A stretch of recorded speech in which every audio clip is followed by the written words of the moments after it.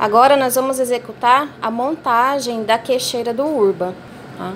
Uma observação nas peças, na baioneta tem a letra R, que é correspondente ao lado direito. A mesma identificação para o chassi. O lado esquerdo, a identificação vai ser através da letra L tanto para o chassi quanto para a baioneta. Agora nós vamos executar a montagem.